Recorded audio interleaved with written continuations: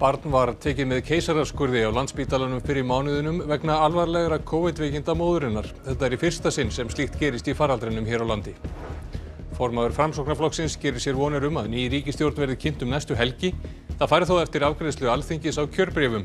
Fjórir af fimmenningunum sem náðu inn vegna setni talningarinnar gefa ekki upp sína afstöðu. Markmið stjórnvalda um að ná smitum niður í 30 til 40 á dag gæti náðst um miðjan janúarmánuð að mati Tórs Asperlund líftölfræðings en er fjórðabilgan í hægum veldisvísisvexti. Hvítrúsar nota fólk á flótta og upplýsingaóreiðu sem vopn í nýju stríði á landamærunum, segir fósittisáþera Póllands. Ísendingar lögðust í barnignir í koronavirufaraldrinum, fæðingar hafa aldrei verið eins margar hérlendis og útlitt fyrir að 5.000 börn kom í heiminn í ár.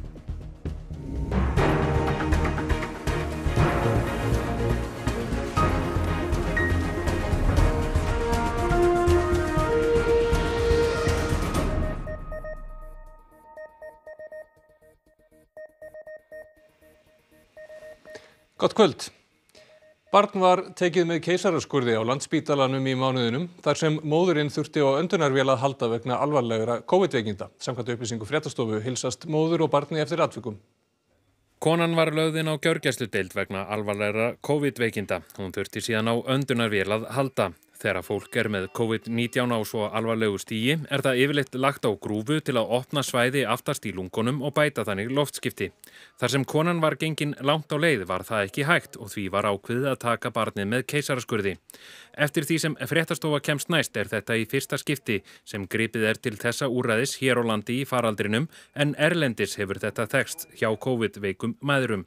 Samkvæmt upplýsingum fréttastofu er móðurinn ekki lengur í öndunavél og heilsast henni og barni eftir atvikum. Landspítalinn vildi ekki tjásu um málið að svo stöttu. Ný ríkistjórn gæti litið dagsins ljós um næstu helgi, segir formaður framsóknarflokksins, en það fari eftir afgreðslu alþingis á kjörbreyfum. Fjórir fimmenningana sem greiða atkvæðu um eigin þingmennsku eru treyir að gefa upp afstöðu sína. Alþingi kemur saman á þriðudaginn en þá er um tveir mánuði frá því að gengi var til kostninga en sem kunnugt er hefur framkvæmt talningar í norðvestur kjördæmi sett strik í rekningin. Sigur Ringi Jóhansson formaði framsónaflokksins og sveitastjórn á samgöngur á þeirra segir að stjórnaflokkarnir verið tilbúinu með nýja ríkistjórn þegar alþingi hefur greitt atkvæði um kjörbref. Það gæti alveg þar að leiðandi þá gæst í á dögunum eftir að, að, að þing hefur klárað sína vinnu og atkvæðgræslu. Áttu vonað að það verið í þessari viku? Já, það gæti þó verið allavega um næstu helgi, hvort að, hvort að næsta helginni verður kúnljós. Eins og framöfu komið leggur undirbúniskjörbreða nefnd til að vali standi millir þess að setnitalning í norðvestur kjördami gildi eða emt verið til uppkostningar. Eðli málsins samkvæmt hefði uppkostning þau áhrif að allt myndi frestast. Hún tæki tíma og einskæti þingmannafjöldi flokkana breyst. Við endurtelninguna duttu fimm þingmenn út en fimm flokksfélagar þeirra náðu kjöri í staðinn. Réttastofa nefndi þá eftir því hvort þeir stittu að endurtalningin gildi sem kom þeim á þing eða hvort kjósætti að nýju. Guðbrandur Einarsson viðreysn ætlar að greiða atkvæði með endurtalningu. Bergþór Ólason miðflokki vildi ekki gefa upp afstöðu sína. Orri Páll Jóhansson vinstri grænum vildi ekki tjá sig og býður eftir greinagerðinni sem og Jóhann Páll Jóhansson samfylkingunni og Gísli Rafn Ólásson Pírati. Álit með miklum greinagerðum líka fyrir og síðan tekur hver þingmaður afstöðu til þess og hérna, við höfum lítilega rætt þetta í vinnu, vinnuferlinu en höfum beðið eftir þessum álitsgreinum og svo kemur það bara í ljós. Þetta, eru, þetta er sérstakt en þetta er ekki eina landið sem er svona. Þetta er mjög algengt að þetta sé svona í líðræðisríkjum. Einhver verður að taka þessu ákvörðin og hver annar getur gert það enn þingið. Fórsetisjáþurra Póllands segir flutninga kvítrúsa og flóttafólki að landamærum ríkjana vera mesta tilræði við stöðugleika í Evrópu síðan í kaldastriðinu. Flóttafólk sé notað sem vopn í nýju stríði. Na naszej wschodniej granicy, wschodniej granicy Polski mamy do czynienia z wojną nowego typu. Wojną, w której bronią są migranci, w której bronią jest dezinformacja, wojną hybrydową. Í færslu og Twitter sagði forsættisráþurann að framferði kvítrúsa væri mesta tilræði til að stefna stöðuleika í Evrópu í tvísínu síðan kaldastriðinu lauk. Pólverjar hafa ekki hleyft flóttafólki inn í landið og ítrekkaði forsættisráþurann í dag að það verði ekki gert. Flóttafólki er því fast á landamærunum því fregnir hafa borist að því að mörgum hafi ekki verið hleyft þaðan og lengra inn í Hvítarúsland. Í Pólandi hafa landamærina mestu verið lókuð fyrir fjölmiðlum og hjálparsamtökum. Sjálfbúðaliðar víða að komu saman í borginni Hænofka í gær í um 20 km fjarlæð frá landamærunum og kölluðu eftir leifi til að hjálpa flóttafólkinu. I want to help this, these people, these kids. I, uh, I think that we should do something. What we demand at the moment for, from the Polish government is please open the corridor, let the humanitarian organizations, let the medical organizations into the forest, into the closed zone. Í kringum 10. janúar gæti takmark sóttvarnar yfirvalda náðst um 30 til 40 dagleg, dagleg innanlandsmitt, segir Tór Aspelund líftölfræðingur. Toppi bylgunar hefur enn ekki verið náð. Trátt fyrir að ívið færri smitt hafi grinst innanlands um helgina eða 112 í gær og 133 í fyrirdag samkvæmt bræðbörðatölum frá almannavörnum er faraldurinn enn í hægum veldis vísis vexti. Þetta segir Tór Aspelund, líftölfræðingur sem reiknaði þróun bylgunar fyrir fréttastofu þessi vöxtur hægða sér ótrúlega starffræðilega, fylgir svona hægum veldisvísisvexti. Þar sem veldisvísirinn sjálfur er láttala þannig að vöxturinn er svona hægur upp á við en, en heldur áfram að vera í þeim takti alveg bara út þessa viku hefur verið. Við erum ekki búin að sjá toppin þá á bylginni? Nei, við erum ekki búin að sjá toppin á bylginni. Tór segir að það geti tekið alltaf tíu daga til viðbótar að sjá skýrmerki þess að bylgjan sé á niðurleið en vísbendingum fækkun smita geti komið í ljós eftir um viku. Þannig lók næstu viku ættu við vonandi og ég hef trú á því að vera farin að sjá merki þess að þessar tölur séu svona staðfarslega að vera lægri. Það er um vika síðan ríkistjórnin ákvaða að herða sóttvarnaraðgerðir og miða fylgdatakmarkanir við 50 stað 200 en ættu þær aðgerðir ekki að vera farnar að hafa áhrif á smittulur. Þessi vöxtur er, hefur, er, hefur bara fengið að vera svo langan tíma þannig að kannski tekur það bara aðeins lengra að snúa við núna, maður veit ekki, get, svolítið að geta sér til en ég, trú, hef alveg trúið að við fyrir að sjá þetta eins og ég segi í lók næstu viku. Markmið sóttvarnar yfirvaldar er ná smitum niður í 30 til 40 dag sem er talið viðræðalegt fyrir hilbriðskerfið en hvenar er hugsanlegt að það takmark náist? Svona með við reynsluna þá ætti að vera jafnvel inn í janúar svolítið, tíunda kannski fyrstu viku, aðra viku í janúar þar sem við förum að sjá þessar tölur aftur svona jáft og þétt 40, kringu 40 ef, ef hegðunin er, er svipuð og hefur verið. Ríkið hefur skilað greinargerð til mannréttinda domstóls Evrópu í máli fjóra kvenna sem telja málsmeðferð sína hafa verið óreittláta. Lögmaður kvennana skilar ansvari eftir helgi. Hún segir jákvætt að dómurinn kalli eftir nánari skýringum ekki sé augljóst að allt hafi verið með feldu. Málin voru upphaflega nýju og í öllum þeirra kerðu konur ofbeldisbrot til lauruglu en mál þeirra voru feld niður. Konurnar kerðu málsmeðferðina til mannréttindadómstólsins. Fyrstu málin fóru þangað fyrir tveimur árum. Átta þessara mála eru komin í ferli hjá domstólnum. Lögmenn kvennana segja það sammert með málunum að þau voru lengi á borði lauruglu. Þá voru tafir á skýslutöku bæði hjá sakborningum og vittnum. Ríkið fekk frest til loka september til að svara spurningum domstólsins um hvort töf hefði haft áhrif á málsmeðfriðina, af hverju málinn voru feld niður og hvort konurnar hefði nýtt allar kæruleiðir sem er í bóði á Íslandi. Í svari ríkisins í fyrstu fjórum málunum er farið yfir úrbætur sem gerðar hafi verið í málafloknum undan farin ár. Ríkið er þá að reyna að svara fyrir það hverju máli fyrir sig, hvaða er sem skýrir að, að þessi töf varð umrætt sinn og hérna, við erum þá að halda því fram að, þetta sé kannski ekki til ulegin að þetta hafi verið í hverju einasta máli þarna heldur sé þarna einhver svona kerfspundin vandi eða minnst okkurstu hefur það verið á þessu tímabili og vonandi e, verður því breytt og stendur til bóta en, en við erum að byggja á því að þessi töf sé óforsvaranleg og hafi þá áhrif á rannsókn málana. Nú fá kærendur tækifæri til að svara málsvörn ríkisins. Þeirra ansvarverður sendt til domstólsins eftir helgi en þetta eru bæði kynferðisbrota og heimilisofbeldismál. Og síðan eru við að skoða e, í hverju máli fyrir sig kannski rannsóknina, e, að hvaða leiti, leiti var til sönnagagna. Annað sem við erum að byggja á í flestum eða ekki öllum málum er að það sé ekki að tekja til til þeirra sönnunagagna sem til eru í þessum tilteknum brotum. Setni fjögur málinn fari í sama ferli eftir áramót og við erum eh, að benda á ákveðin svona kerfisbundin vanda og með því að, að skila greinagerðum í þá áttamálum á tiltvöla stuttu tímabili að þá eh, er það gaglegt til þess að sína fram á að þetta er alltaf það sama sem við erum að kvarta undan eða mjög oft. Eh, bara á þessu stíði þá teljum við jákvæmt að það sé allavega kalla eftir nánæri skýringum. Það er ekki alveg augljóst að þarna hefði allt verið með feldum. Það er náttúrulega mjög jákvæmt að domstólinn vísi ekki málunum strax frá heldur krefjist frekari svara en þetta veit maður síðan ekkert um framhald málsins. Það stefnir í að um 5.000 börn fæðist hérlendis á þessu ári. Það væri langmest í fjöldi fæðinga á einu ári frá upphafi. Með við tölur frá fyrstu þremur ársfjórðungum hafa ekki fæðst fleiri börn á einu ári frá því árið 2010 en sá árgangur var óvenju fjölmennur. Þá var stundum talað um hrunbörnin en barnegnum fjölgaði mjög fyrst eftir hrun. Nú stefnir í að metið frá 2010 verði loksins leið og spurning hvort þá megi tala um COVID-börnin eða samkomiðbannsbörnin.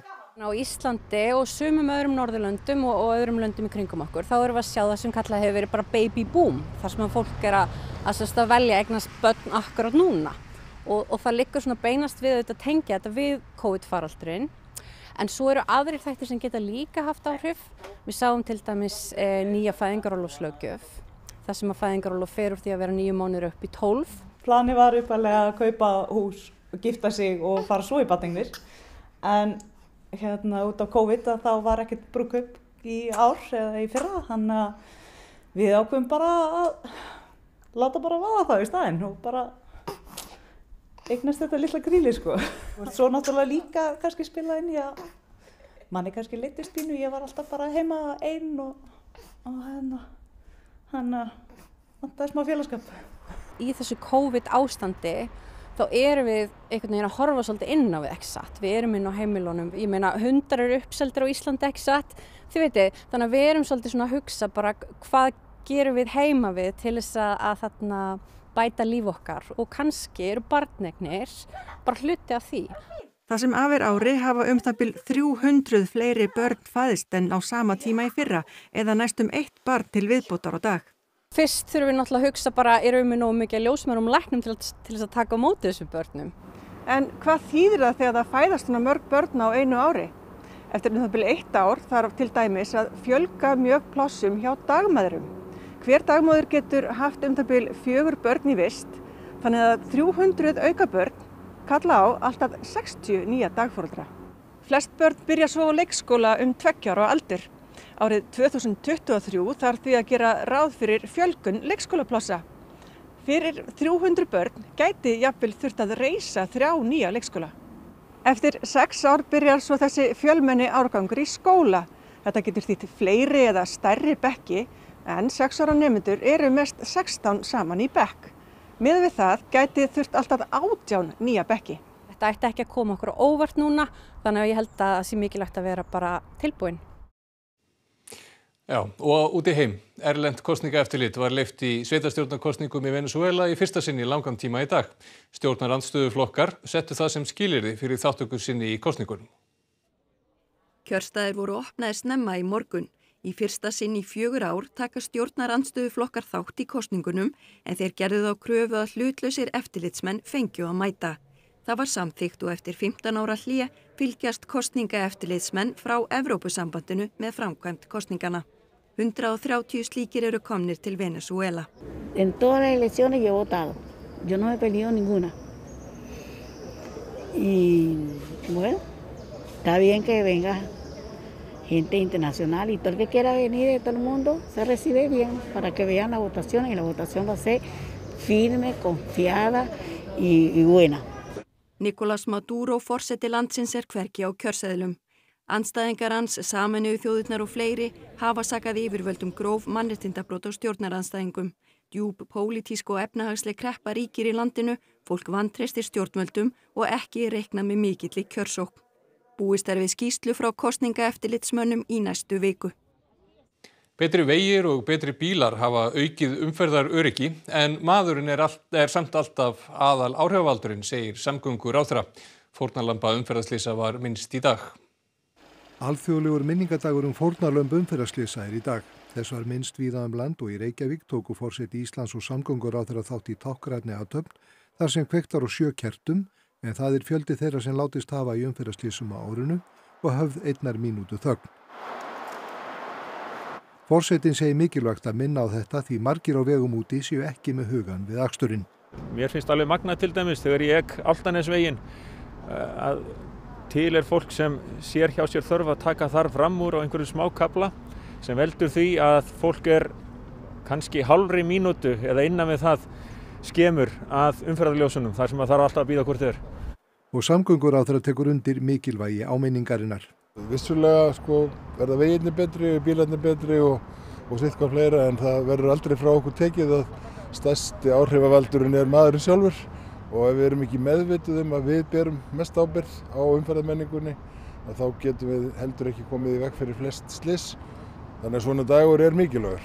Samgöngur á þeirra talar þar af reynslu því sjálfur misti hann foreldra sína í umferðarslýsi. Já, ég gerir það og, og einmitt það að, að rifja það upp, þetta var ná söpun tíma þó að sé að orðin hansi mörg ár síðan að þá, þá rýfur þetta alltaf svolítið upp í, í, í salunni. Óli Há Þórðarsson sem áratugum saman barðist fyrir bættu öryggi í umferðinni segir margt hafa breyst til batnaðar og það megi þakka betri fræðslu, betri vegum og fleirum. Og en þá er ég nú með þá tilfinningu að þegar ég heyri af alvarlegu slísi þá fer það alveg í gegnum merkópin. Meðal þess sem notað er til að auka fræðsluna er svo kallar veltibíl sem líkir eftir raunverulegri bílveldu. Hann var á ferðinum Reykjavík í dag og meðal þeirra sem prófuðan var Brægi Valgeirsson myndatökumadur Rúf. Reykjavíkuborg hyggst koma á fót safni Nínu Tryggvadóttur í Hafnarhúsinu við Tryggvagötu. 2,2 miljardum króna verður varið í kaupahúsnaðinu en ráðast þar í töluverðar endurbætur á því. Reykjavíkurborg á nú þegar 40% af Hafnarhúsinu. Þann hluta er hýsir listasam Reykjavíkur. Hinn hlutin er í eigu Faxaflóahafna.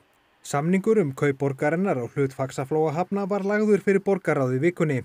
Borgin greiðir tæplega 2,2 miljardar króna fyrir húsnæð alls 5.800 fermetra og munu faksaflóahafnir leia hluta þess af borginni næstu árin. Kaupin verða fjármögnum með lánum.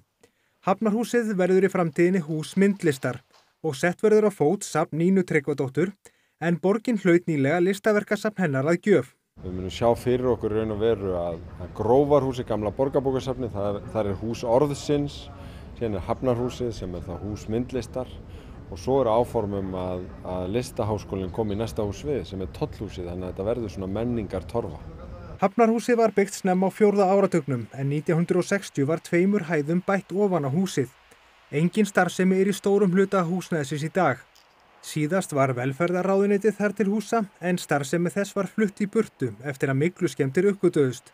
Ljóst er að ráðast þarf í töluverðar endurbætur á húsnæðinu og samkvæmt útekt eflu verkfræðistofu frá árunni 2016 er áallar kostnæður við endurbætur um 650 miljónu króna. Dagur segir endalega kostnað komi ljós að lokinni þarfagreiningu og hugmyndasamkeppni.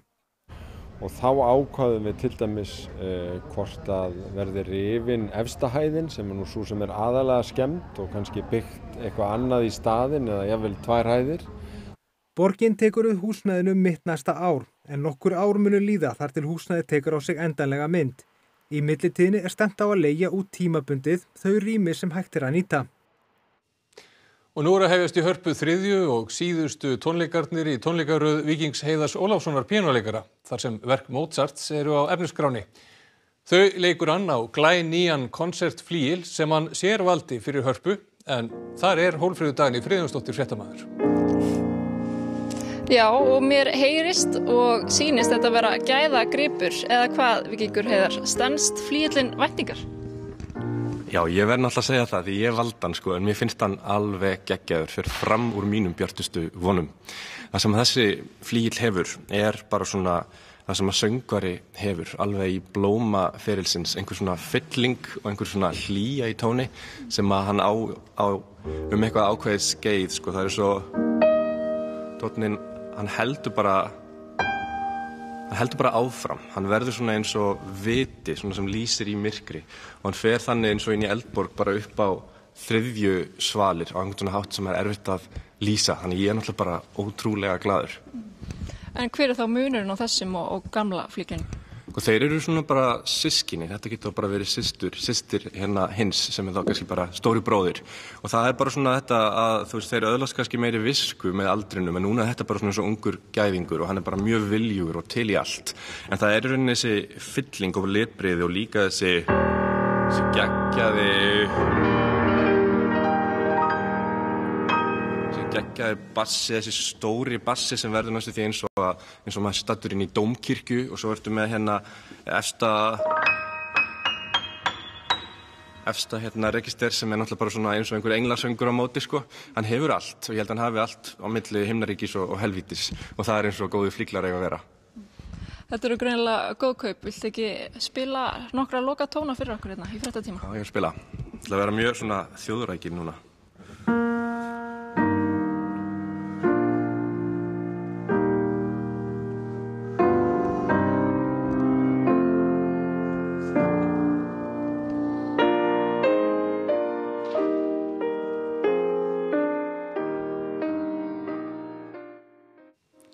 Glæslegt þetta.